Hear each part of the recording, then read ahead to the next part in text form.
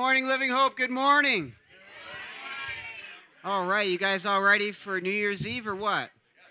All right, some of us are like, ah. Who's gonna make it to midnight? Anyone? No, I, yeah, you might make, you might be. I'll make it. I'll be sleeping probably. All right, at time. But let's uh, stand uh, to our feet. What's that? My mic is on. It's on. You just get me up a little bit.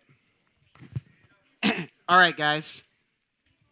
Let's get ready to worship and praise our God. I welcome you all here to our special uh, New Year's Eve service, and I'm grateful that you are here.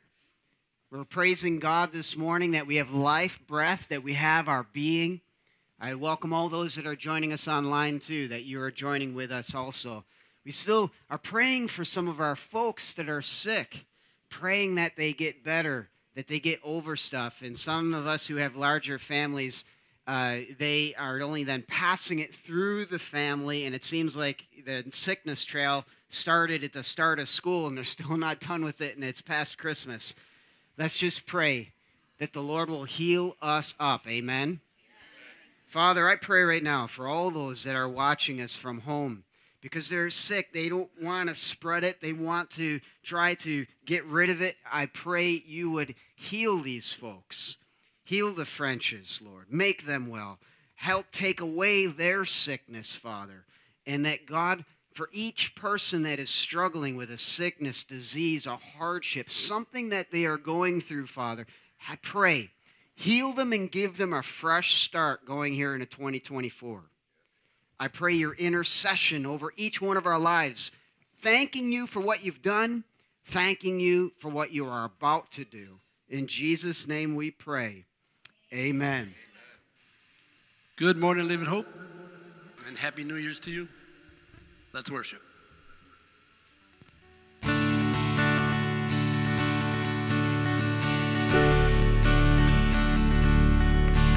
I was buried beneath my shame. Who could carry that kind of weight? It was my turn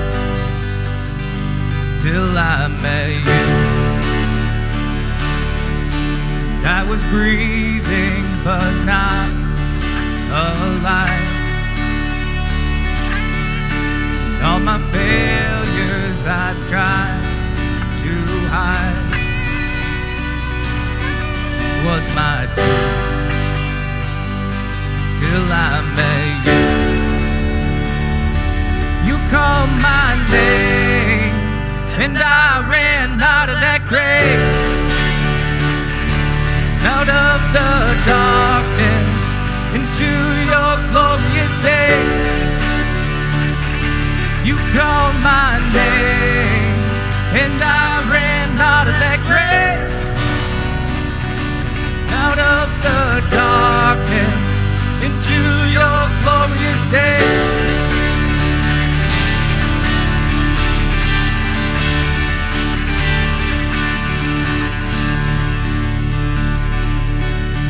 Now your mercy has saved my soul. Now your freedom is all that I know. The old made new. Jesus, when I met you, know the day when you called my name, and I ran out of that grave.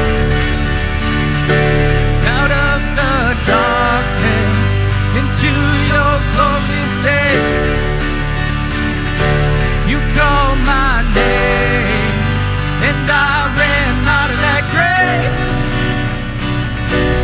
out of the darkness into your glorious day.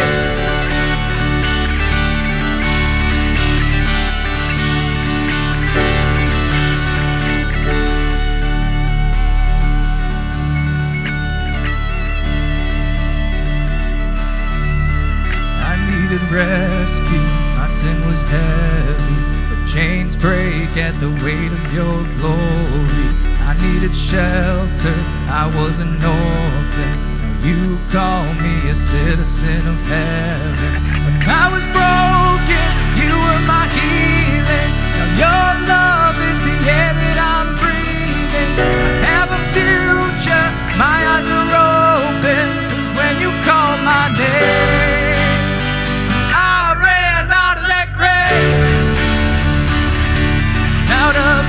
Darkness, into your glorious day. You called my name, and I ran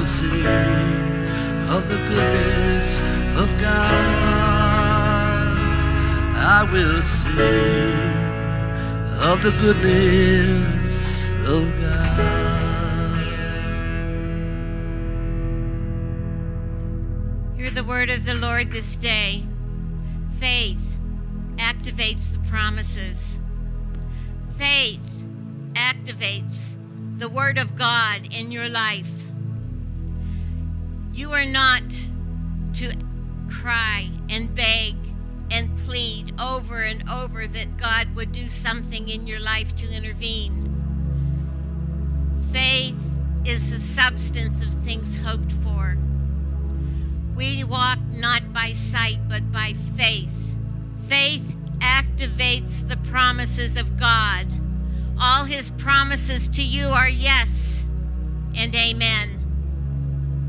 When you ask for something that is according to his will, he hears you. And if you know that he hears you, then you know beforehand that you already have it, what you've asked of Him. Faith activates the promises.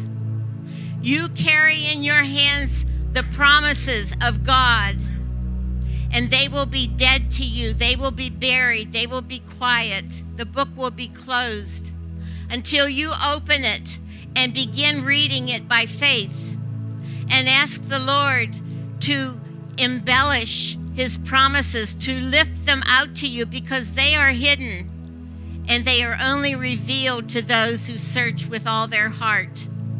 And faith activates, faith activates the promises that you ask of God. So ask Him one time. And when you know it's His will, begin thanking and praising Him because that is your power and authority. Praise Him for the answer. Call things that are not as though they are. Stand tall. You are soldiers in the army of the King. Faith is your shield, and your sword is the word of God. Use it, decree it. Thou shalt decree a thing, and it shall be established. Do not beg and plead and cry anymore. You pray the word and praise and thank God for the answer before you see it manifest. Because faith activates the promises of God.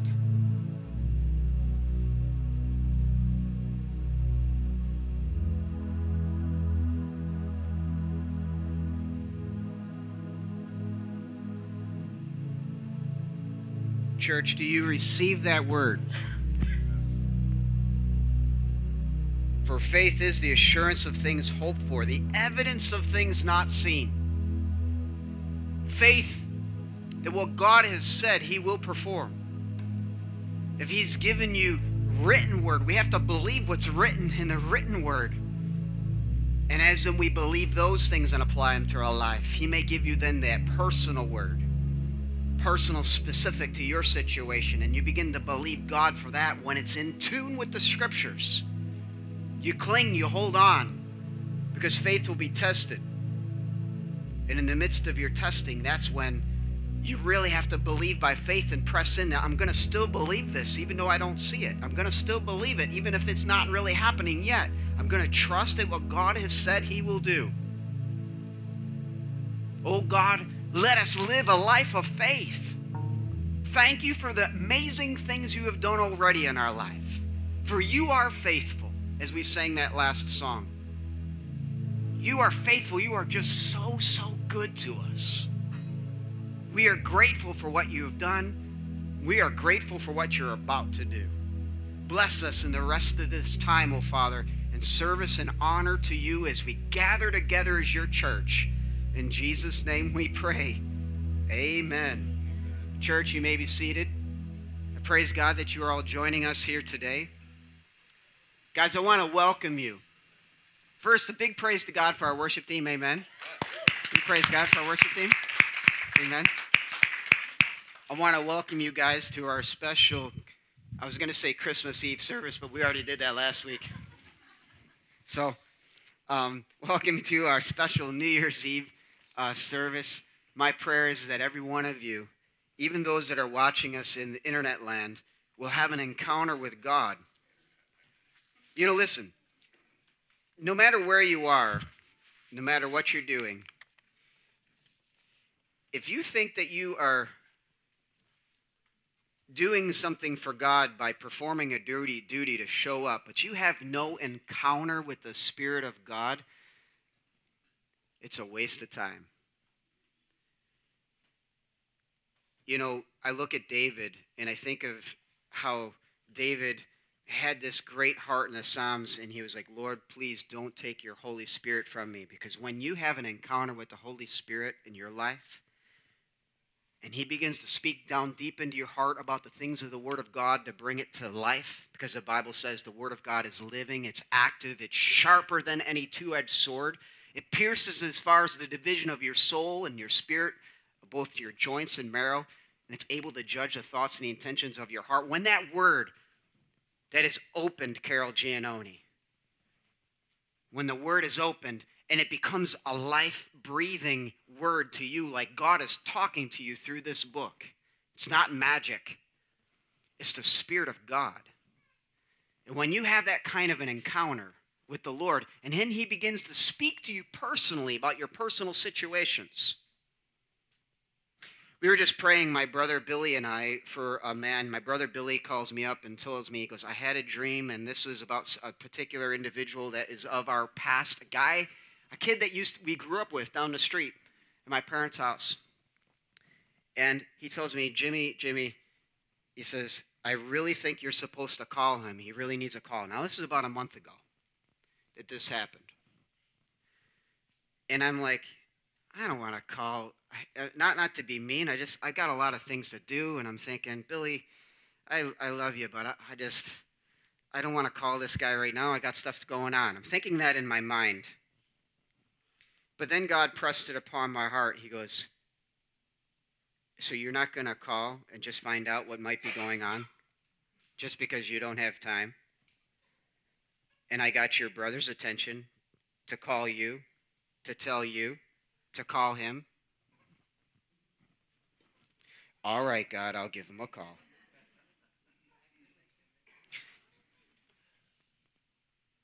I didn't have his phone number. I called his mom. I had to talk to his mom for a little bit as I got done talking with his mom, and we're having a great conversation and talking about God stuff and everything. I says, just let so and so know that I've, I, I, uh, that I was thinking of him and that I'm praying for him. And just at that time, we we're about to get off the phone because the, the, the kid who's no longer a kid, he's, he's in his 50s and a lot, he's a lot older than me because I'm only in my thir- 30s. So, um, uh, um, thou shalt not lie. Thou shalt not bear false witness. Okay, I'm 39. Okay, no, right, right now. This kid, this guy, lives with his mom because him, and his wife are taking care of mom in her older age.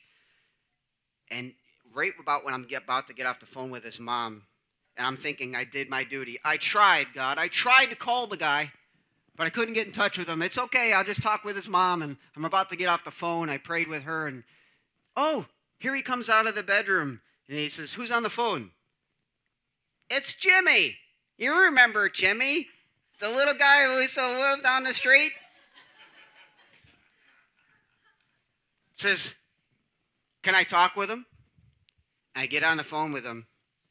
And before you know it, I find out that he is was in a very, very, very dark place. He has some heart problems, and he was very worried about having to go in for a procedure and he's thinking about his dad and thinking about how his dad died and things like that. And before you know it, he become very paranoid about going in for this procedure, thinking he was going to die.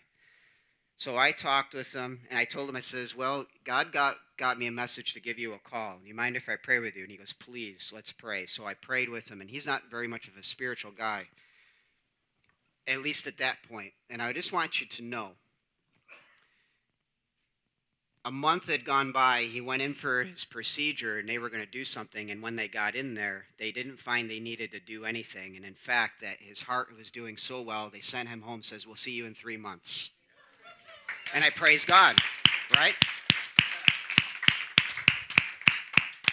That will send the hair in the back of your neck up and you realize the Holy Spirit was getting you a message. He sends me text and blew up my phone with text messages saying he was just so grateful. You don't realize the timeliness of that phone call, how I was in such a dark place, and how that lifted my spirit to hope that everything would be okay. And I sent that message over to my brother, and my brother was like, just also, we're both just stunned. Do you want to live a life where the Holy Spirit gives you messages like that? I'm telling you, I'm living the life. And I'm telling you, I am no special person. You can live the same life. Everyone in this room can. Everyone in internet land can do that. Before we guys get into the message today, remember that we guys have some Staple Church announcements in our countdown every uh, morning uh, or every Sunday morning, like what happens from midweek service to prayer night, and now that the Cho- chosen is going to be starting on Fridays. But a few special announcements here, guys, are as follows before I send the kids downstairs. Um, we are going to have our special 21 days of prayer and fasting is going to start January 7th, next Sunday, to the 27th. And if you, make sure to see, if you guys haven't gotten one of these, you can pick one up off the back table. Okay? Or you can raise your hand and Miss Jen Tyson will get you one.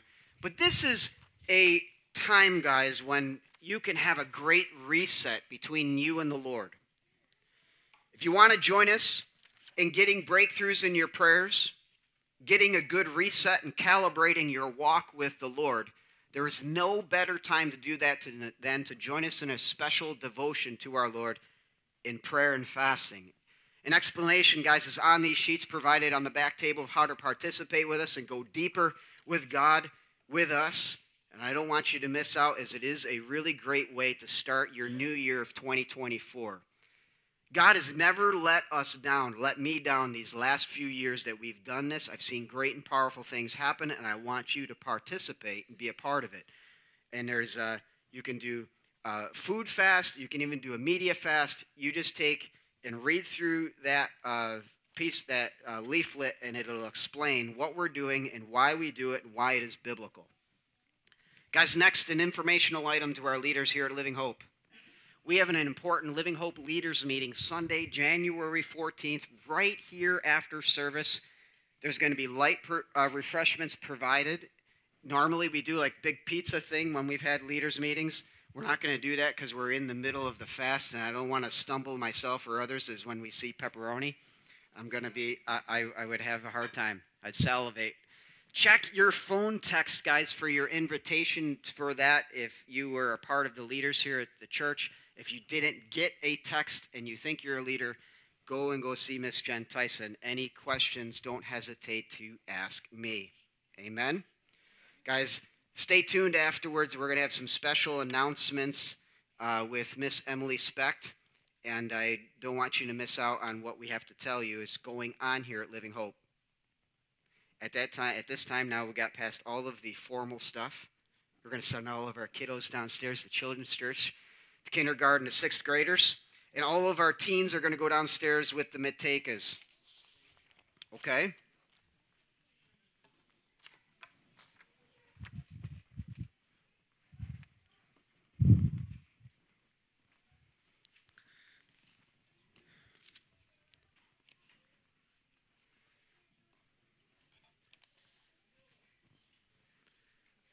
Bow your heads with me, guys, in prayer.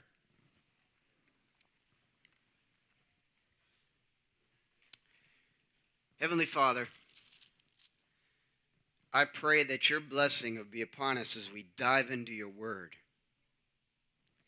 I thank you that your Holy Spirit is here with us right now. I thank you, Jesus, you are here amongst us right now because where two or more are gathered in your name, Jesus. And is there more than two people gathered here in the name of Jesus, church? You believe it. And I know, oh Lord, we're gathered in your name. You're right here. And when I think of that, Father, when I think of that, God the Father, God the Son, God the Holy Spirit, when I think of your presence here right, right with us right now, it makes me want to shut up.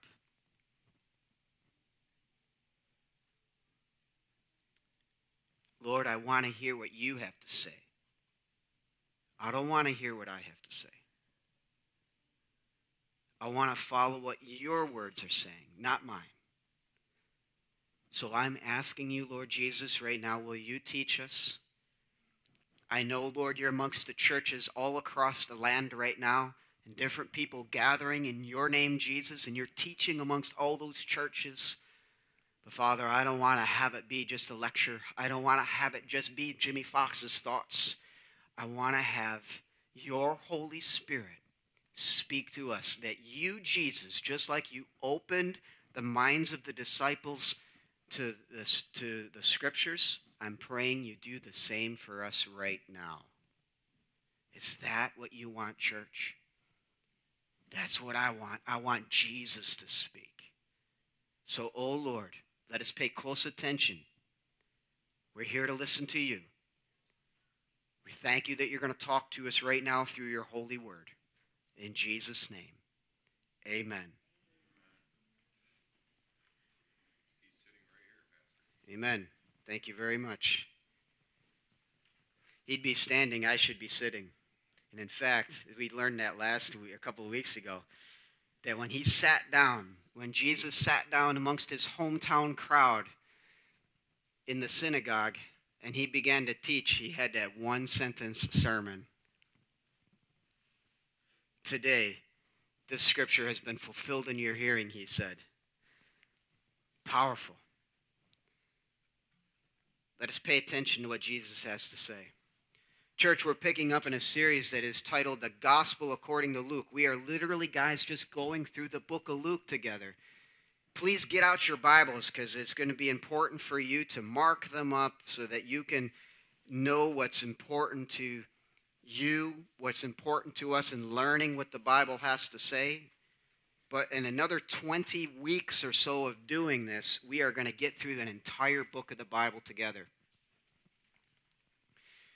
Guys, remember, Luke is divided into four major sections. And what we've covered so far is in red, right up here on the screen.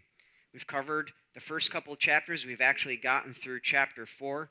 And uh, we are picking up where it says in under number two here, in the start of the ministry of Jesus' ministry in and around Galilee. That's where we are picking up. But open your Bible with me to Luke chapter 5. That is where we are right now. Luke chapter 5.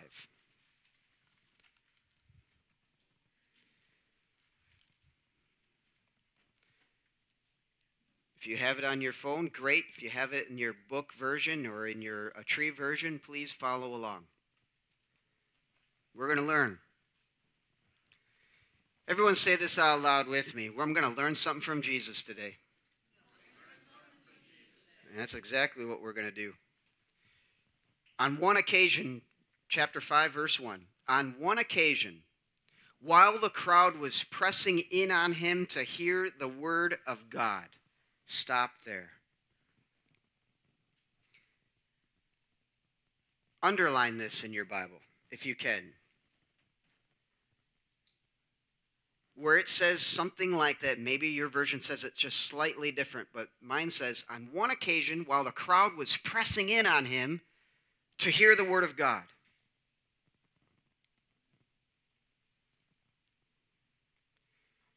Soak it in pressing in on him, you hear the word of God. I want you to start using this phrase and tell yourself to do this. Say this out loud with me. Will you take a look up here at the screen? Can you say this out loud with me? In 2024, I'm going to press into Jesus to hear the Word of God. Think about it. Pressing in. It has the action of pushing other things and people out of the way and aside so that you can get close enough to hear what Jesus is saying.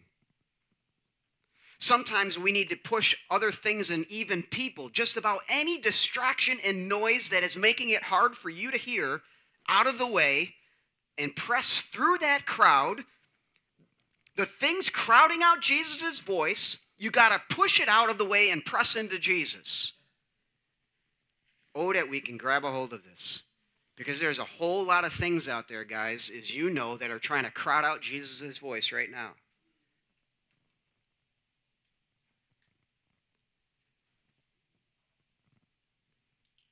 Your your action your your inaction to push push through a crowd to hear something important from somebody, your inaction to not do it is a message. It's a message to you. You don't care. So if I start talking like this, and I just say this about Jesus, and it's a very important thing that Jesus is Lord, and He's the King, and He's the Lord of all. You can't hear me. What would should you do? What should you do? What should you do? You can hear me. That's great. You got good ears. Listen carefully. If you couldn't hear, you would press in if you want to hear. If you don't want to hear, you won't press in. That should tell you something. It should tell you something.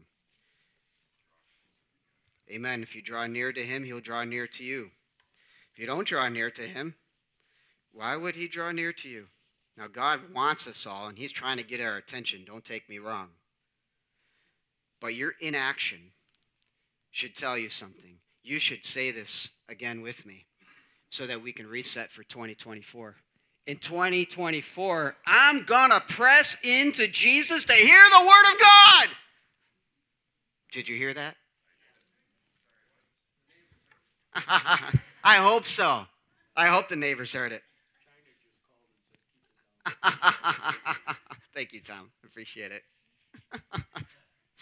Uh, on one occasion, verse 1 in chapter 5, while the crowd was pressing into him to hear the word of God, he was standing by the lake of Gennesaret, or Gennesaret, however we want to say it, and he saw two boats by the lake, but the fishermen had gone out of them and were washing their nets. And getting into one of the boats, which was Simon's, he asked them to put out a little from the land, and he sat down and he taught the people from the boat. And when he had finished speaking, he had said to Simon, Put out into the deep and let down your nets for a catch. Stop there. Just hear me. I'm going to take and say this in verse 5. I want you to take and underline verse 5. Just get ready with me, and we'll come back to it.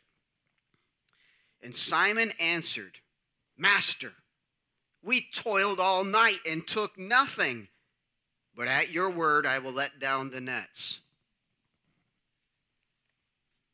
Just take note of that. I'm going to go on to the next set of verses. And when they had done this, they enclosed, enclosed a large number of fish, and their nets were breaking. They signaled to their partners in the other boat to come and help them, and they came and filled both the boats so that they began to sink. Stop there. Now go back to verse 5. Take a close look at this. Notice something with me.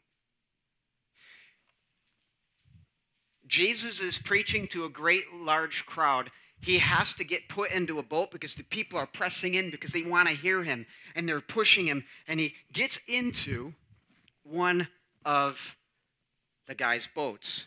He puts it out from the land a little bit to make it hard for the people to get to him because they don't want to get their feces wet.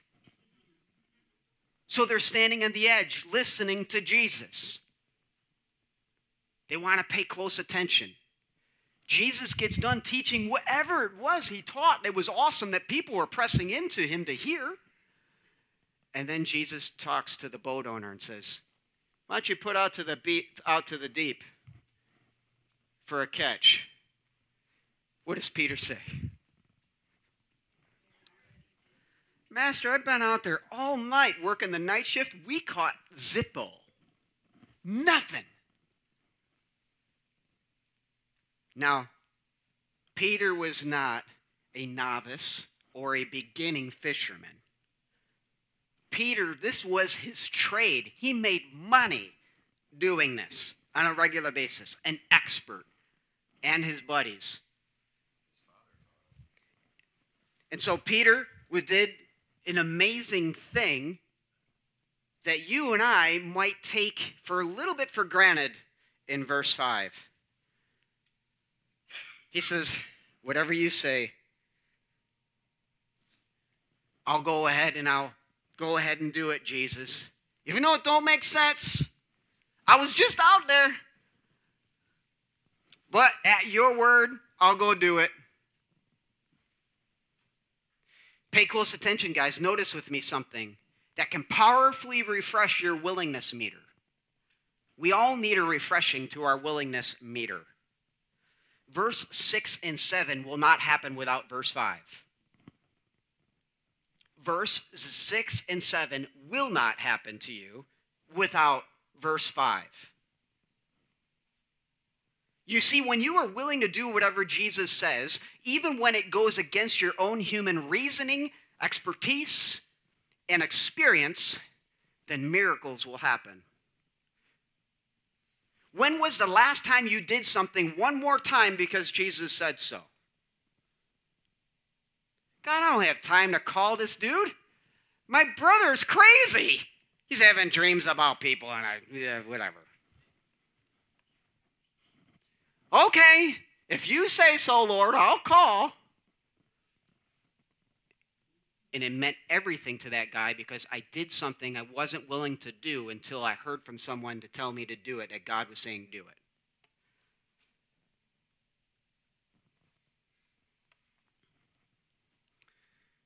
Say this with me if you are willing. In 2024, I'm going to do whatever Jesus says, even when it goes against my reasoning, expertise, and experience. Are you willing to do that? We'll try to. That's probably the best way. Lord willing, with God's help, of course. Maybe if we do this, we'll experience more of the miracles. Look at Luke chapter 5, verse 8. Now, the boats are just about sinking full of fish against Peter's expertise. He went and did what Jesus told him to do. The boats are full. And when Simon Peter saw it in verse 8, he fell down at Jesus' knees and he says, Depart from me, for I am a sinful man, O Lord. Look at Peter's response. Go away from me, Lord. I'm a sinful man. Maybe your version says it. Not only did Peter realize that his own weak, his, realize his own weakness of not believing Jesus, I suppose it's a matter of trying to give respect to Jesus. Perhaps Peter knew of some sinful things that he was ashamed of, that he felt like he wasn't worthy to have Jesus hanging around with him. When you first came to know Jesus as your Lord and Savior, did you immediately stop all of your sinful bad habits? Did God do some miraculous things right after you got saved for you? Some amazing provision or something that He did in your life? And you're already looking up and saying, God, I don't deserve a lick of this blessing. I'm such a loser. I've done it so wrong. I've hurt you with all my sins. Why would you bless me? Do you ever feel like that? This is what Peter's going through.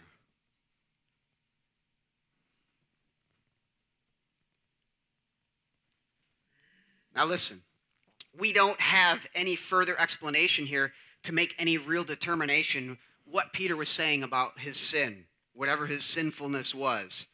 What we do know is this isn't the first miracle that Peter saw, because we just read last chapter that Jesus healed Peter's mother in law, right? Peter had got first hand experience of Jesus healing one of his relatives. That's powerful. So he's seen Jesus do some miraculous stuff. Perhaps he had saw Jesus do some other miraculous things in Capernaum, maybe, but now Jesus comes to work with Peter that day. Do you separate your life out with Jesus? I'll have my Jesus time with church, but he's not welcome elsewhere. No, I never do that. I ask the question Do people at work know you are a believing Christian following Jesus Christ, Jesus freak? Does work know it? Work knows it? You work at a church. they better know it. oh, man. Tom's up here saying, Yes, they know. Yes, of course. Oh, man. Makes me laugh. The one thing Peter may have been good at and that he knew the best fishing he finds I don't even know that well enough when I'm around Jesus. Soon as you say, Jesus, I got this, please repent faster because embarrassment's around the corner. Jesus, I got this. I know this well enough. Usually, embarrassment's right around the corner. Now, praise God they got a great catch of fish. But Jesus, the quote unquote person who is not the experienced, licensed fisherman like Peter was, told Jesus told Peter how to go fishing. A lesson, guys, we could preach the rest of the day about. As soon as you think you're an expert at what you do, step back. You got to get back into a place of humility and say, I don't have a lick of this blessing unless the Lord Jesus had blessed me with it. And until you get your mind there, pride is right around the corner. And before pride, it says, comes a fall. So, embarrassment's always looming with your nose in the air. Keep your face close to the ground. It's a whole lot easier to fall four inches from the ground to the face to the floor than six feet up. Well, maybe if you're short as I'm, I am, four foot nine, maybe. I'm just kidding. and I'm 39. Let's move on. Here we go. Lightning is striking. But Peter says, Depart from me, for I am a sinful man, O Lord. For he and all who were with him were astonished in verse 9 at the catch of fish that they had taken. And so also were James and John, sons of Zebedee, who were partners with Simon. And Jesus said to Simon, Do not be afraid. From now on, you will be catching men. And when they had brought their boats to land, they left everything and followed him. Listen, Jesus makes clear don't be afraid. I want you. And from now on, you'll be catching men. Jesus gave Peter, James, and John their calling right there on the spot. A moment of decision. Will I follow Jesus and keep my day job? Or for them, their night shift? Now, not everyone needs to quit their job, guys, and go fishing for people. But for some, God calls people to do just that. I be one of them. Well, Pastor, your job wasn't all that glamorous two jobs ago, anyways, on the back of a garbage truck. I says, Yeah, but there's always garbage.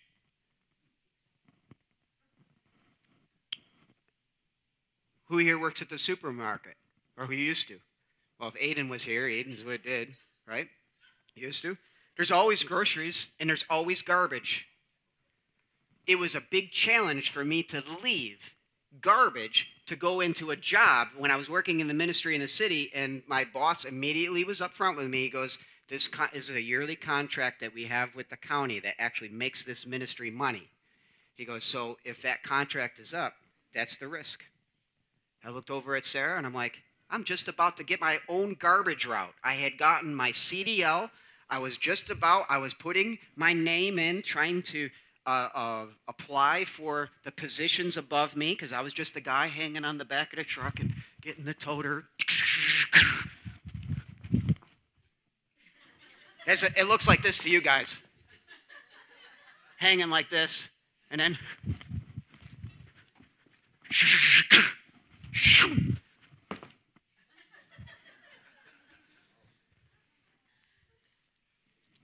Over 100 days, or a 100 days, over a 100, 100 houses or something that you would do a day, and we'd fly through the route, and I would be doing preparation for ministry to possibly become a youth pastor on the way to the dump site over in Bergen, and the 40 minute drive we would take and drive from wherever we were. And it's sitting right there, and Bill Dobney turns around and looks at me one day and says, Would you come work for me in the ministry in the city? I want you to be my operations manager. And I was like, You talking to me or you talking to the guy behind me? Because I'm just on the back of a garbage truck, buddy. What do you mean, me, a manager? God, I believe, has pressed upon my heart that you're going to be my operations manager. He said I was the longest interview that he ever had. I took two months to decide. I didn't want to give up bread and butter. I knew what it was like not to get paid. The job prior. The job prior, I was five paychecks behind. You come home and tell your wife that you can't cash your fifth paycheck. You go ahead and tell her how that's going to work out. And then you finally get into bread and butter where the paycheck is good and they're giving me uniforms and I got two pairs of boots every year. And I'm like, this is gold. I was in waste management and I'll never ever forget it. I remember I went into the bathroom and they had toilet paper on the toilet paper rolls. What do you mean? Sometimes when you're working in landscape and lawn cutting, you have to use anything to go to the bathroom so that you don't have to get off the job. So you find the woods. And sometimes you ran out of toilet paper. So I'm like, you guys have gold. There's toilet paper in abundance. It's amazing. And the guys are complaining, oh, I can't believe I have this stinky job over here at Waste Management. I go, your paycheck is good on Friday. It was no small thing for Peter to leave this fishing industry to go follow someone and not know where his next meal was going to come from. No small thing. Look at it for what it is. Peter saw who he was in the presence of, and he would rather hang out with that than his job. That's awesome. That's powerful.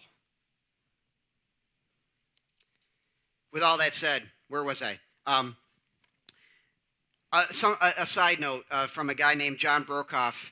I was reading something about him. He says to catch fish cost to catch fish calls for effort. A fisherman goes where fish are. Fish do not come to the fisherman. It is not likely uh, that a fish jumps into the boat. Although I have seen some reels on Facebook when that's happened. It's crazy. But it's not a normal thing. To catch fish requires bait, lures, or nets to att- attract fish, something. Accordingly, we must make Christianity attractive and wholesome. Fish bite because they are hungry. The world is full of people hungry for the love of God in Christ. This was more of a lesson to Peter in the whole picture. It just wasn't two separate things with Jesus preaching to a bunch of people from the boat. You got to see what was really happening. He's now going to go and take the fisherman out and show him a lesson. And then a great amount of fish comes in, and then Jesus takes and changes the story. And he says, You are now going to catch people. Just like was happening at the shore, you're going to now do that. You're going to start catching people. But Jesus, I'm not worthy. If you say that, God wants to use you. Amen? Amen. I hope so. Let's read verses 12 through 13. We got lots of time. I'm, do, I'm praising God for that because you guys are going to be here till 2 a.m. All right, let's go. Verse 12, and I'm 39. Here we go. Uh, while he was in one of the cities, speaking of Jesus, while he was in one of the cities, there came a man full of leprosy. And when he saw Jesus, he fell on his face and begged him, Lord, if you will, you can make me clean. And Jesus stretched out his hand and touched him, saying, I will be clean. and immediately the leprosy left him.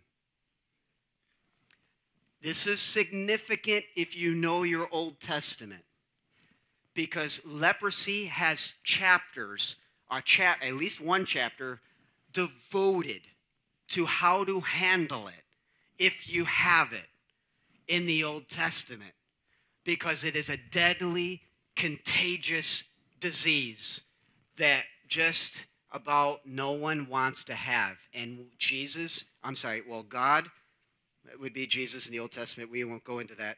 But God told them how to handle it.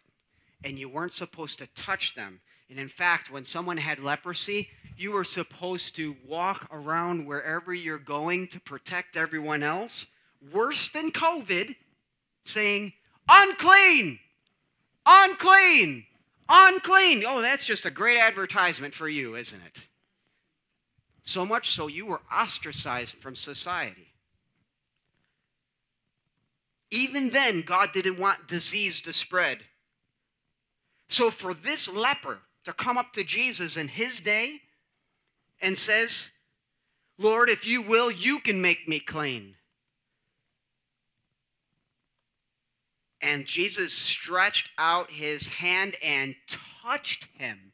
It would have been a big no no. Don't do that. But Jesus did it, and Jesus says, I will be clean. This showed more than Jesus' power to heal, guys. This shows Jesus' willingness to heal.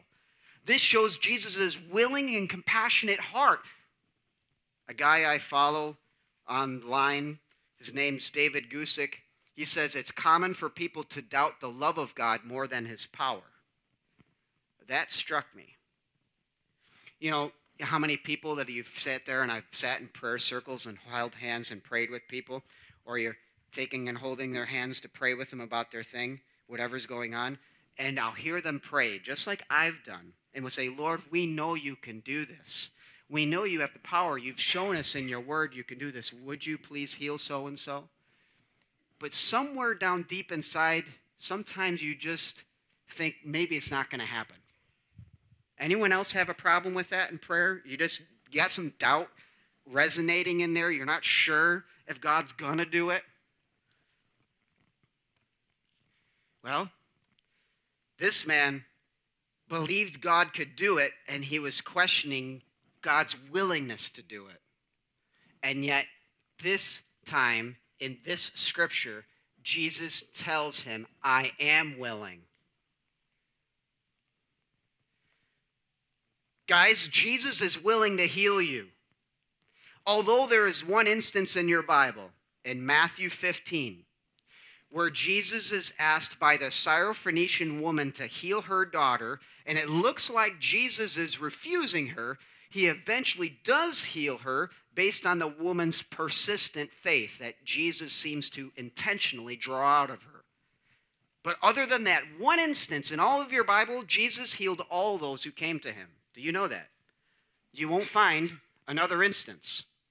You'll find an instance where it says that he went to his hometown and he couldn't heal very many people because of their lack of faith. That does say that. But it says if somebody came to him for healing and believing he could do it, there's nowhere in your Bible that he didn't. So, where's this doubt coming from, guys? Where is it coming from that God won't? when we know He can? Where does that kind of fear come from when it's not godly fear? Satan. We need to put this fear in check, guys. We need to get it back where it belongs. God is willing to heal you and make you well. He's willing to help you through your troubles. Read verse 14 with me. Speaking of after he healed the leprous man and made him clean. He says to the guy, and he charged him to tell no one. So he heals him and he says, Don't tell anyone. But go and show yourself to the priest and make an offering for your cleansing as Moses commanded for a proof to them. But now, even more than, but now, even more the report about him went abroad, and great crowds gathered to heal him and to be healed of their infirmities. But he would withdraw to desolate places and pray. I could keep talking about lots of things, but we're just going to concentrate on some things I think we need to touch down on. Verse 16, you might want to underline this because it tells you what to do. Verse 16, but he would withdraw to desolate places to pray. Jesus, guys, often withdrew and prayed to his Father in heaven. I have a footnote. You can see my Bible. You guys see my Bible? Does anyone see it? See all the little notes I wrote down all next to it? I go through and I was trying to read and put this together for this Sunday, and I just didn't have enough margin space to write everything down I wanted to write. Because I was so enamored with what I could learn. I have a footnote at the bottom of my Bible that is from the, uh, um, the ESV Fire Bible, Study Bible. And this footnote says this Luke focuses, focuses on the importance of prayer and its power in the life of Jesus more than the other gospel writers. There is no doubt that Jesus' time and interaction with his Father was the source of his supernatural guidance and power. When the Holy Spirit descended upon Jesus during his baptism in the Jordan, he was praying. I'm going to just, just see all these times when Jesus was praying. So if we go back to chapter 3 in the book of Luke, Jesus was praying when the Holy Spirit came upon him at his baptism. At the time he got away from the multitudes, he also prayed in chapter in verse 16 as we see here. And all night he continues in prayer before choosing the 12 disciples we will see in next chapter, chapter 6. Jesus is praying alone before he asks his disciples an important question in chapter 9. Prior to his supernatural experience, his transfiguration with Moses and Elijah, he climbs the mountain to pray in chapter 9, verse 28. The actual transfiguration occurs while he is praying in chapter 9, verse 29. He also was praying when the disciples approached him about learning how to pray. As we see in chapter 11, in Gethsemane, he prayed more earnestly short before his arrest in chapter 22. And as he died on the cross, he prayed for others. And the last words he spoke before his death, his death were a prayer in chapter 23 of this book we're reading. Luke also records that Jesus prayed after his resurrection. How often is Jesus praying? All the time all the time. You ready for your next 2024 statement? In 2024, say this out loud with me. In 2024, I'm going to get away to desolate places and pray like Jesus. Are you going to do it? With God's help, of course. Look at this next statement that I think that we all need to hear that God's pointed out to me. Some people would say, Well, I'm not Jesus. You can't expect me to pray that much. I say, You're right. You aren't Jesus, hence why you need to pray all the more. We get it backwards. I'm not Jesus. I, I can't pray like all that. I says, You're not Jesus. You need to pray more than that guy. You need, you really need to pray if you aren't Jesus. Let that sink in. Let's pick up in verse 17. On one of those days, speaking about Jesus again, as he was teaching, Pharisees and teachers of the law were sitting there who had come from every village of Galilee and Judea and from Jerusalem, and the power of the Lord was with him to heal. And behold, some men were bringing on a bed a man who was paralyzed and they were seeking to bring him in and lay him before Jesus. But finding no way to bring him in because of the crowd, they went up on the roof and let him down with his bed through the tiles into the midst before Jesus.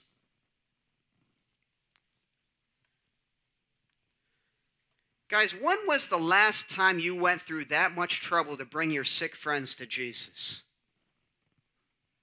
I'm convicted here, guys. Is anyone else convicted with you? Convicted with me?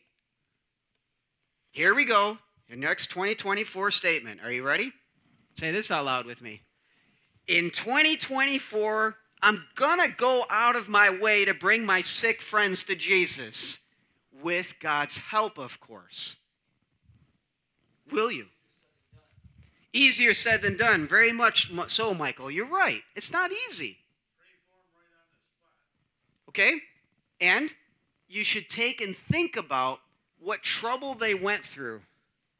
But yet, I'm not even willing to make a stinking phone call. because I'm too busy. I'm a pastor. I've got my own flock to watch after.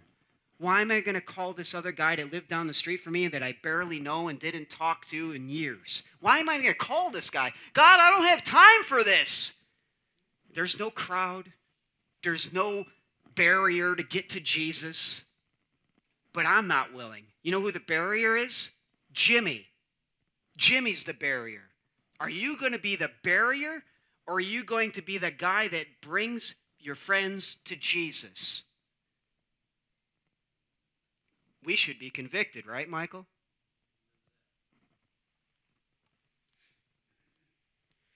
Verse 20. Speaking of Jesus, looking at these guys, bringing, digging a hole through the roof, sending their buddy down in faith, believing that Jesus could do something, fighting through the crowd to do it, and when he saw their faith, he said, Man, your sins are forgiven you. Gee, thanks, Jesus. Can you now fix my legs? Get me up off this stinking mat?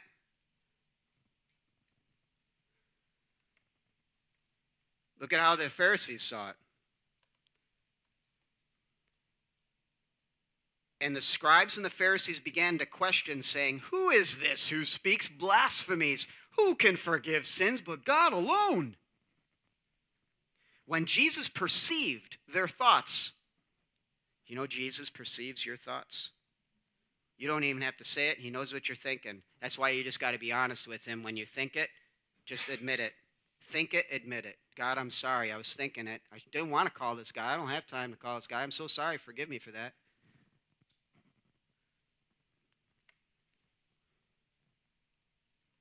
When Jesus perceived their thoughts, he answered them, Why do you question in your hearts, in your hearts?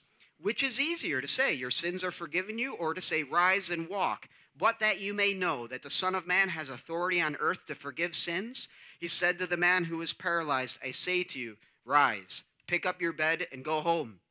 And immediately he rose up before them and picked up what he had been lying on and went home, glorifying God. And amazement seized them all. And they glorified God and were filled with awe, saying, We have seen extraordinary things today. When was the last time you saw a paralyzed person get up out of bed? Never. Maybe on a YouTube video. Yeah. Yeah, understood. Very good.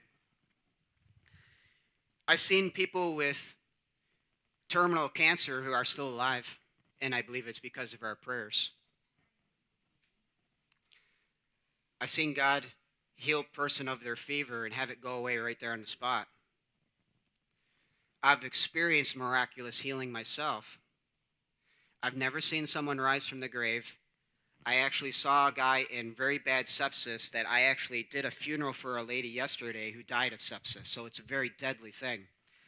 Um, Eh, but I seen a guy who had very serious sepsis, and God pressed it upon my heart and Philippines to go down and pray for him, lay our hands on him, and prayed for him at the hospital. And he was shivering, shaking, and as we were praying over him, I kid you not, somehow he was praying that the guy began to pray in tongues right there. And I did, I didn't know that Jimmy prayed in tongues, I said about this guy. His name was Jimmy at the time. And it says, well, let's just keep praying for him that God will get him out of it. Doctor says he has such bad sepsis, it's very likely he may not make it. He lived four more years or whatever it was. Jimmy McGee. And I praise God for that. He lived at that time. And I go, that's not power of Jimmy Fox. We just were willing to go down and pray over a man, and I've watched it happen. And boy, oh boy, did I think that was an, an extraordinary thing, an extraordinary thing. Because people normally die from that. But he lived. I praise God that God did what he did. Why do the Pharisees get all mad at Jesus here, guys, when Jesus takes and tells him before he heals him, Your sins are forgiven you? Why would that be offensive? What was it, Dennis? He's making himself like God. Who can forgive sins but God alone? Very true. They were right. So Jesus says, which is easier to say, your sins are forgiven you, or to heal the man? But so that you know that I have the power to forgive sins. What now, now, now just stop there for a second. If Tom had some major sin, okay, Tom, what's your mo- okay? You do have a major sin, don't? No, just kidding. if Tom had a Tom Burgo, if he had a major sin in his life, and Jesus were standing before him and says, Your sins are forgiven you. Did you physically see anything happen? No, right? Now, Tom may feel good about it. Thank you, Jesus, that my sin is forgiven. Oh, thank you so much. He may be grateful, but none of us saw anything happen. It's invisible at that point, right? But a person being healed physically is something you can see, right? Jesus knew exactly what he was doing, guys. He knew exactly what he was setting out to accomplish to try to shake up these guys' religion, their religious minds, to burst their wineskins. He knew exactly what he was doing. Neither is really hard for God to do to forgive sins or to heal someone. But I suppose it would be kind of look like it would be harder to to uh, heal a man than to forgive him because forgiveness is invisible. No one can verify at that moment that the man was forgiven before God. Yet it could be verified whether or not the man could be could walk. David Guzik said that, and I thought that was powerful. Look at where it says in verse 24. You guys see this where it says the Son of Man? And Jesus refers to himself as the Son of Man.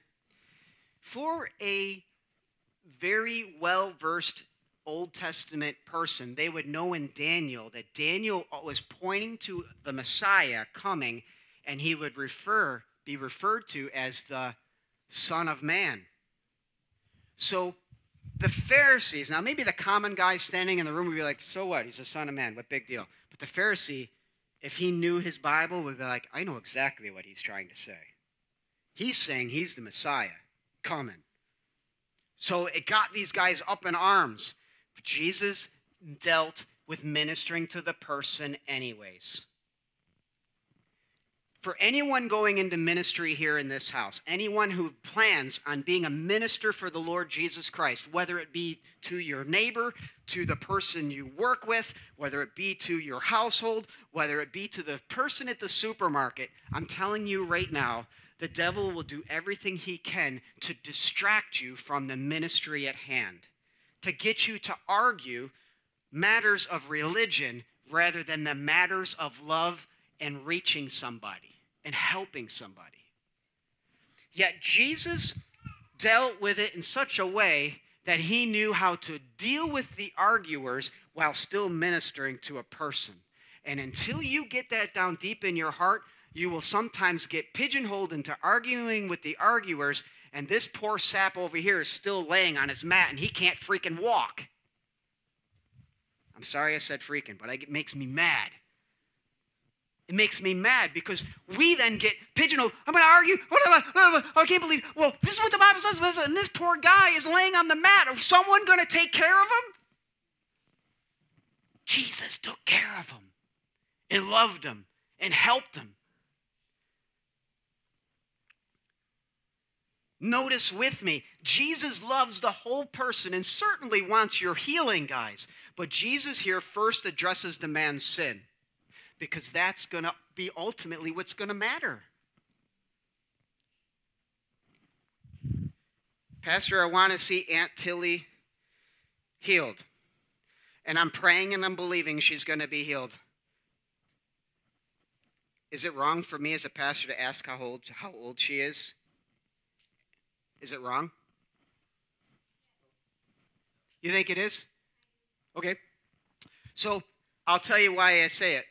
So when I don't know the person, I'm asking things about them so I can know who they are, to get to know them a little bit. And I says, How old is Aunt Tilly? Well, she's 101 and she's in the hospital. And they, they say that she might be on her last legs, but I'm just not ready for her to go. And I would really like for you to pray for her to stick around. I then will ask this question What does Aunt Tilly want? Does she want to be here for another five more years in this God forsaken world? He's not forsaken it, Jimmy. He so loved it. Yes, you are right. But he's going to one day do away with it and make a new one. And people are looking forward to getting out of this old one because they want to get to the new one. Did anyone ask Aunt Tilly? Let that sink in. Let that sink in just gets to me sometimes. How we're so crazy about wanting to see everyone get healed. And, and although that is important, we should be thinking about some other things also.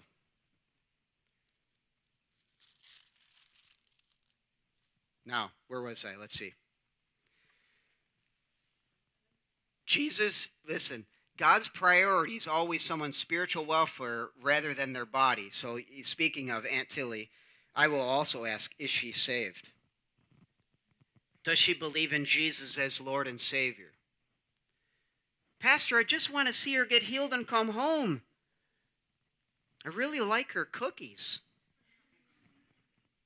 We all like her cookies. But maybe Aunt Tilly wants to go home. But can I ask you this? Because I'm going to certainly pray for the preservation of her life and be in agreement with you, especially if she doesn't believe in Jesus as Lord and Savior. So I pray this prayer Lord, preserve Aunt Tilly's life long enough so that she can get it right with you. Even if she's 101, may she believe tomorrow, just before, if she does die, because I'm more concerned that she goes to heaven. Yes, I want to see your body healed, but Lord, if she doesn't believe, the physical healing will mean nothing. You ever pray that? Do you see how Jesus addressed this man's sins before he addressed his physical thing. Now, he didn't always do it that way, but I think he was making a point. A man's spiritual health is most important. Read verses 27. We're getting there, guys. And I'll even be on time today. You watch. After this, he went out and saw a tax collector named Levi, verse 27, sitting at the tax booth. And he said to him, Follow me. And leaving everything, he rose up and followed him. And Levi made a great feast in his house, and there was a large company of tax collectors and others reclining at the table with them. And the Pharisees and their scribes grumbled at his disciples, saying, Why do you eat and drink with tax collectors and sinners? And Jesus answered them, Those who are well have no need of a physician, but those who are sick. I have not come to call the righteous, but sinners to repentance. The quick note here is it does not mean when Jesus was saying to these Pharisees, you guys don't need any help. In fact, they needed more help. But they just didn't recognize their depravity and their sickness. They didn't know they needed Jesus. But these other folks did.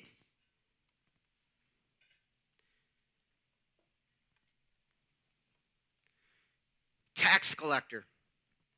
This is significant. Jesus calls a tax collector to be one of his disciples.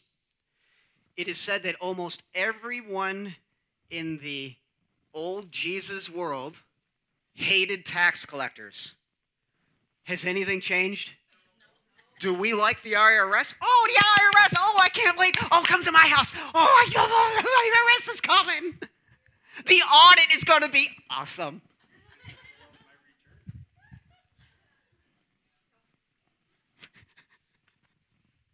I think of that. I just, I laugh. It says, guys, it's the same today. No one likes the tax collectors.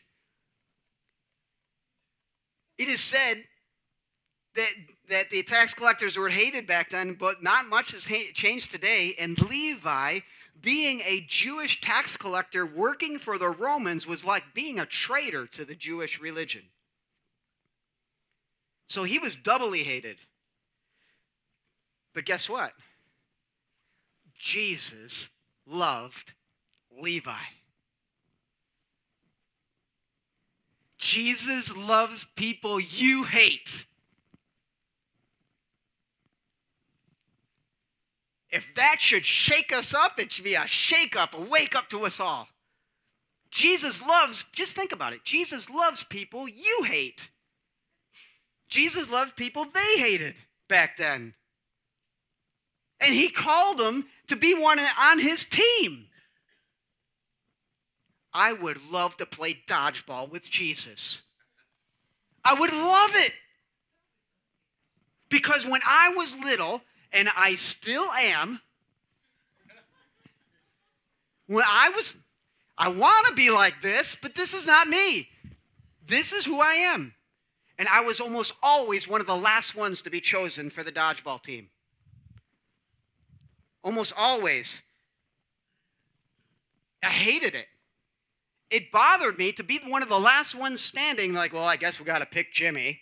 He's one of the last ones to pick. Not with Jesus. He'll pick you first above the tallest, the brightest, and the best. Because the Bible says he uses the weak things of this world to shame the mighty and the foolish things of this world to confound the wise. Because when I catch the ball on the dodgeball team and I make all the rest of the people come back out onto the floor that were out, you're being cheered. And I believe you me. You tell me this. When God picks you like that and everyone thinks you're going to fail and you, you succeed, and you then point to everybody, that wasn't me, God did that. God so much easier gets the glory when he uses somebody that's the unlikely candidate. I love it. No one is exempt. Everyone has a chance. Jesus picks the people no one else wants to be on his team. And I love it. Say this out loud with me, will you? In 2024, I'm going to realize how Jesus wants me no matter what others think of me. Amen? Amen. I hope so. Take that into 24. With God's help, of course. Read the rest of it with me, guys. We're almost done. And they said to him, the, the, uh, speaking of folks talking to Jesus. And they said to him, The disciples of John fast often and offer prayers, and so do the disciples of the Pharisees, but yours eat and drink. And Jesus said to them, Can you make wedding guests fast while the bridegroom is with them? The days will come when the bridegroom is taken away from them, and then they will fast in those days. While Jesus was with them, guys, while he was with his disciples and with all these tax collectors, they're having a party. And it is blowing the Pharisees and religious people's minds. What are you doing? You shouldn't be hanging around with these guys, let alone eating and drinking with them. How are you training up your disciples? That isn't the way that we do it. While Jesus was with them, there was great rejoicing, great teaching, great ministry. People were getting healed and getting saved, and they were reaching people over dinners and food. The bridegroom was there, but when he was taken away, later in this book, the disciples would fast. Like we have our fast coming up on the 7th. We're going to do this fasting time and prayer thing. And when Jesus was taken away, his disciples did fast, and so shall we.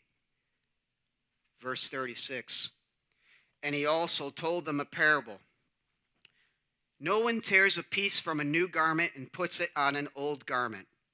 If he does, he will tear the new, and the piece from the new will not match the old. Stop there. Did anyone else live in the era era where mom bought the patches from Woolworth and she used to try to fix the knees? She ever had that happen? How long did the patch last? Maybe a couple of washes, maybe. For me, because I skidded my knees across the ground and the gravel and I made them all. I said, Mom, it didn't really last. It came off. And then when you go to take and rip it off, what did it do? It ripped them, ripped worse. Just a little side note, it made me think of that when I was reading it. No one puts new wine into old wineskins, verse 37 says.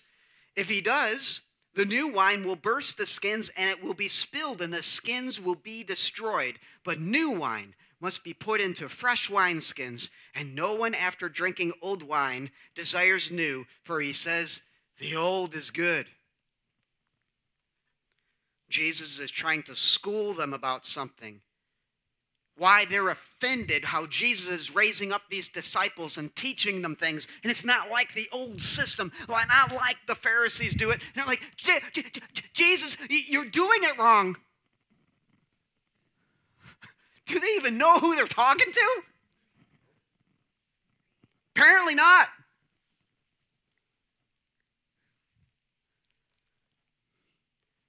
See this with me hopefully a 2024 revelation for us all. This is the end of it. I'm almost done. Jesus is telling the Pharisees that they are old wineskins, unmovable for a fresh work of God. If you put new wine into old hardened wineskins and it begins to ferment, it will burst those old wineskins, as just about every commentator I read on this subject. But new wine into new wineskins, and the wineskins are flexible enough to handle the new wine and can handle, uh, it says to handle the new wine, and I wrote it twice here, and handle the new wine. Okay, whatever.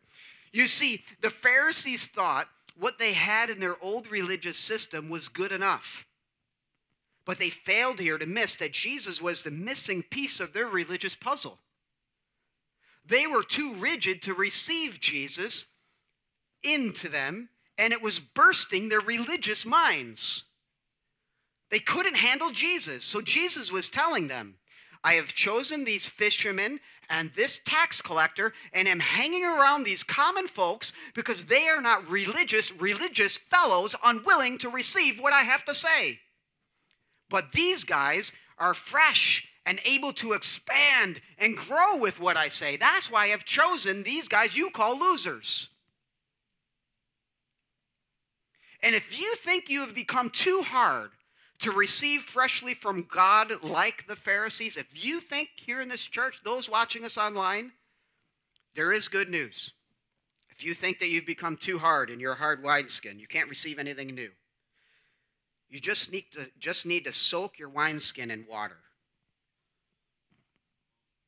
Huh? Did someone say huh? Yeah, yeah, Stephen, you saw what I wrote. Huh? You see, take a look up here. The Greek word translated new in relation to wine is neos. But the Greek word translated new in relation to wineskins is kainos. I don't even know if I'm saying it right. Forgive me, Tom, if I butchered it. And literally means renewed. When I saw someone say this, I go, oh my gosh, I didn't realize that. You see, Jesus was saying, if somebody's fresh and doesn't know anything religiously and they come to Jesus, they are not tainted with some false religious ideas of all the hoops you have to jump through religiously to get right with God, to do things the church way, or to do things the Jewish way back in their day.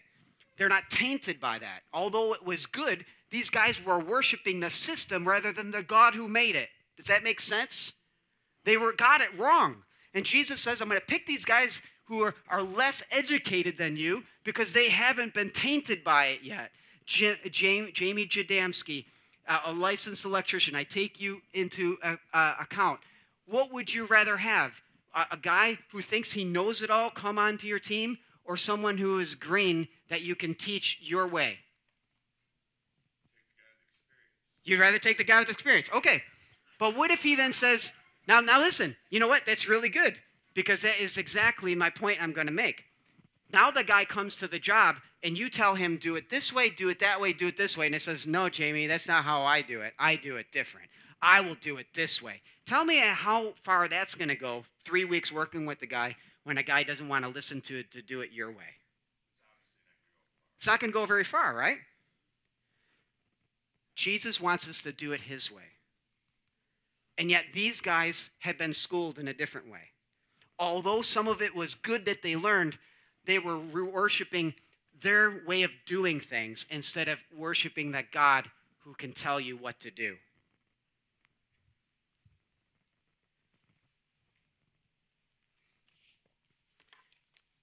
Apparently, in the Bible days, wineskins were relatively expensive.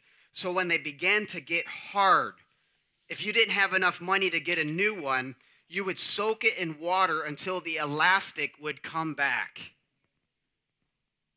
So if you are not new to Christianity, but you're feeling a bit hardened, you can get that freshness back.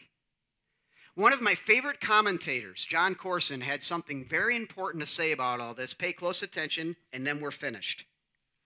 Jon says this How do you stay flexible, usable, and contemporary in whatever the Lord might be doing, both corporately and personally?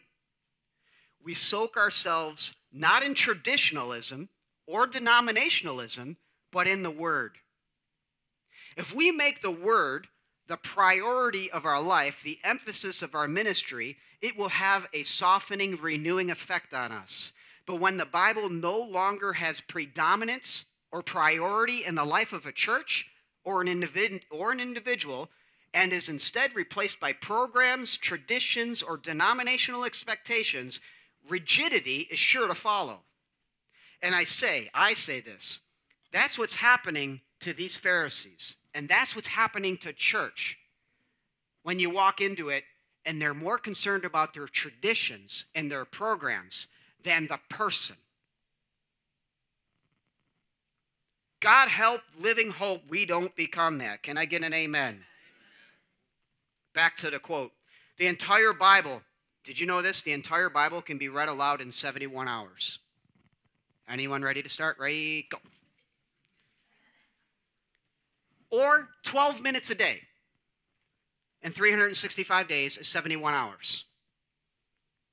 Most of us spend more time than that simply brushing our teeth and combing our hair. Well, I've looked at some of your teeth. Maybe they're not the brushing of the teeth part. I'm just kidding. I'm joking. The question is not whether we have time to read the word, the question is do we choose to read it? There is one, only one place a believer cannot stay. Did you know this? Are you ready? He cannot stay put. That is, he is either growing and expanding in his walk, or he is shrinking and, or weak and weakening in his walk. Your faith is either more radical today than it was last year, or it is less so. If we determine together to soak in the Word of God, we will experience a continuing, renewing, new discoveries, new understandings, constant softening. And the Lord will be able to pour new wine into our vessels. End quote. You get it? If you've become old and crusty, it's time to get renewed. Faith activates the word. And the word activates faith. As faith comes by hearing, and hearing by the word of God. It's cyclical, isn't it? But we got to soak in it so that we stay soft and we don't become religious snobs so that we can be helpful to people and loving and reach out to the tax collectors and the fishermen, where the rest of the society says, write them off. They're the low scum of the earth. Get rid of them. Jesus got them on his team. So if you believe this with me, guys, say this one last thing with me. In 2024, I'm going to soak in the word and stay fresh and expandable to receive all of what Jesus has for me. Do you believe it? It's all I've got. Let's take a moment and praise God and pray. Heavenly Father, we thank you for your word. And I know there's so many things, God, we could go through and expound upon what your word has to say there. But I believed you pressed upon my heart to cover these things. God, I just want to see us in 2024 to be soft and pliable and for you to pour your wine into us and that we would learn all that you want us to learn. That we would be quick to not lean our, on our own understanding, our own expertise, our own experience, but that we would say, God, if you say so, according to your word, I'll do it, just like Peter did. I pray, Father, that we, forgive me, guys, because I the Lord's showing me to really cover this. I pray, Father, that we would press into you, Jesus, and hear the word of God. In 2024, may we press in, may we press through the crowding out of your voice, Jesus, and get closer to you to hear you. Help us not give up. Help us to get closer and closer to you. I pray, Father, that we would do whatever you say, Jesus, even when it goes against our reasoning, expertise, and experience. I pray, Father, that we would that we would get away to desolate places and pray like you, Jesus and if we say, I don't have time to pray like Jesus, well, then what are we saying? We need to pray more than you did, Jesus. Help us. Help us, Lord. And I pray that we would go out of our way to bring our sick friends to Jesus. People who physically need healing, people who need to believe in Jesus as Lord and Savior so that they can have their sins forgiven, like the paralyzed man, and get a physical healing. Help us, O oh Lord. Like even Lou says, help us to be quick to say, well, I don't even need to bring you to church. Can I pray for you right now, right here? And in this new year, Lord, I'm praying that we realize how much Jesus wants us no matter what other people think of us. If we're the last to be picked on the team by the world, Help us to never forget we may be the first to be picked on your team, Jesus. And that's way better than being picked by the world. And Lord, let us please be soft and pliable, be fresh wineskins. If we've become hardened a bit, let us soak in your word to get our elasticity back so that we can expand and grow in the things of God. If we're brand new to the faith, help us take it all in let that be done, I pray. In Jesus' name, amen. Church, if you have found that this church is your home church and you'd like to give of your tithes and offerings, I'd like to show you how.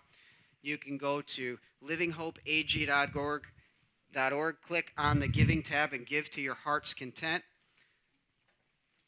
And if you are here in the house, you can give on the love offering box in the back wall.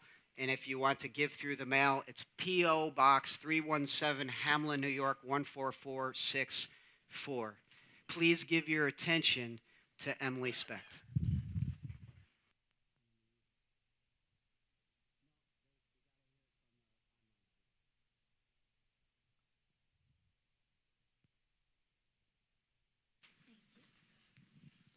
Hello, everybody.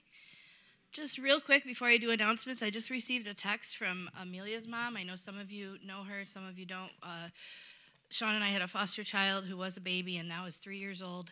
Um, she she's been doing well, but she currently has an ear infection and strep. So I would just like to lift her up in prayer quickly. Lord, we thank you for healing Amelia. We thank you for the plans you have for her, Father. We thank you for giving her relief and comfort and peace. And I pray that you would heal her and we thank you for her healing, Father. In Jesus' holy name, amen. All right. Let's see, our first announcement is starting this Friday, January 5th. Sean and I will be showing The Chosen, starting with season one, episode one. I just wanted to share something quickly that I found at versebyverseministry.org. It says, it's kind of like a disclaimer. Watching movies about the Bible can only complement the Bible. They cannot replace study of the Bible altogether. With that said, every Christian must understand and respect the difference between studying the Bible and watching movies about the Bible. When believers and unbelievers alike watch The Chosen, they may gain a simple understanding of key biblical characters and events, but a movie about the Bible can never impart the same spiritual wisdom and growth that comes only by studying the actual Word of God. Simply put, there are no shortcuts to holiness and spiritual maturity. Therefore, we advise all Christians to seek to understand the full counsel of God's Word in an unedited form, in addition to relying on supplemental Bible movies. Sean and I have really enjoyed The Chosen. We started watching it last year, we or maybe the year before, and um, we got up to season three as it was still being made, and uh, we prayed about it and felt the Lord tell, well, me personally, and then Sean um, is along with me, to show it here at church. We asked Pastor Jim. I believe he prayed about it, and he told us that we could go ahead and do that. Um, we do not um, claim that it's a, you know, the Bible. It's not word for word the Bible. It does have artistic licensing, but what we really enjoy about it is that it's relatable. You can see that um, how Jesus and his disciples, how their life may have looked. And so that is uh, very relatable to us because it shows that we can all be used by God no matter what we've done or what we've been through or what we're going through. And so that's very encouraging. And we know that people all around the world have been brought to Jesus through this through this series, and so that encourages us. And we believe that um, God's going to do something in this church with the chosen. So we encourage you to come join us. It's uh, next this coming Friday, January 5th at 6 p.m. Next one, men's prayer breakfast is going to be on Saturday, January 6th. There's free breakfast spiritually and physically. So come on out and get filled up and spend some time with the other men of the church. Next one is Ladies Bible Study. That'll be January 8th. Our lovely Leanne Jadamski is allowing us to come at either 1 o'clock or 6.30 or both. So please join us for that. It's always a good time with the ladies, and we always feel blessed and encouraged and filled up when we leave. And then if you would like to see what else is going on here at Living Hope, you can check our website calendar at livinghopeag.org and that'll show you everything that's going on in case you forget these announcements or you know you just need a refresher. There's something going on almost every single night of the week. So we'd love to have you join us. Thank you.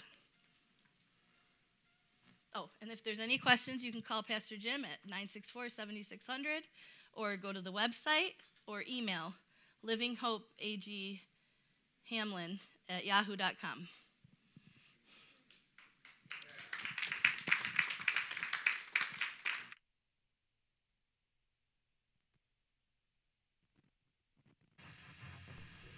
Let's stand up for one more worship song.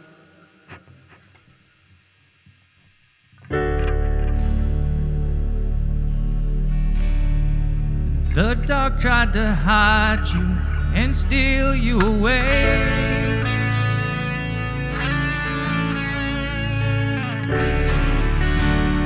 And death tried to keep you inside of the grave.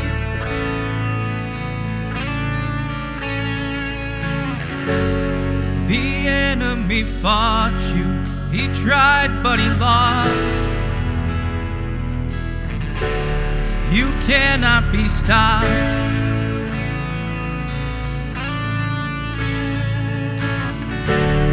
When we cried for freedom, you tore down the walls.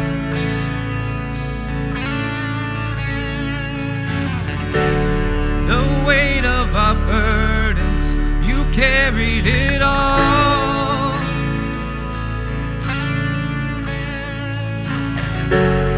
Our fears and our failures hang dead on the cross. You cannot be stopped.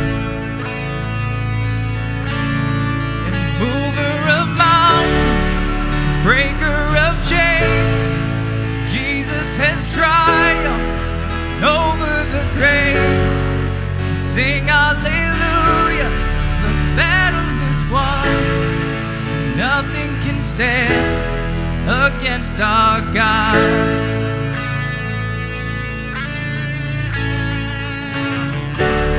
We stand on your victory and shout out your praise.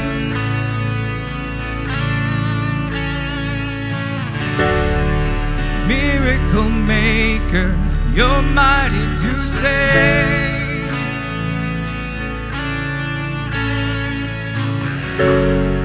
Awesome in power, relentless in love. You cannot be stopped. Mover of mountains, breaker of chains. Jesus has triumphed Sing hallelujah, the battle is won. Nothing can stand against our God.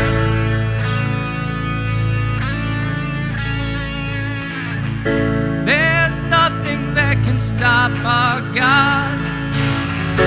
There's nothing that can stop our God. Stop our God. There is nothing. There is nothing. There's nothing that can stop our God.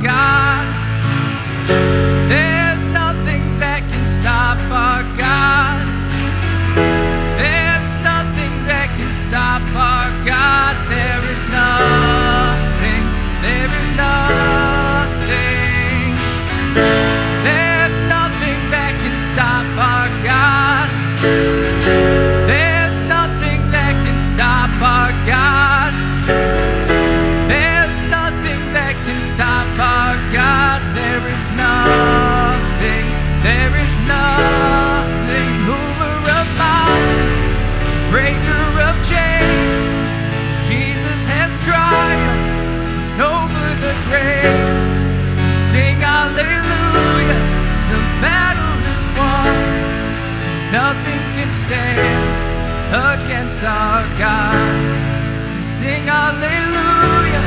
The battle is won. Nothing can stand against our God.